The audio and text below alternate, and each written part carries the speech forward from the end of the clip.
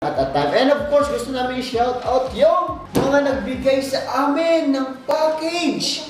Sobra grabe yung pagmamahal niyo sa amin. Guys, ito yan from... Ito, this is from um, Ricky Santos. Sinulat ko yung name niya kasi... Thank you, Ricky Santos. Yun, oh! Galing, oh! Ang pogi ko dito.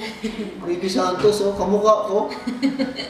Galing, galing. Thank you! Thank you, Ricky Santos. Tapos shout out kay ma'am. Pero Ma'am? I wasn't able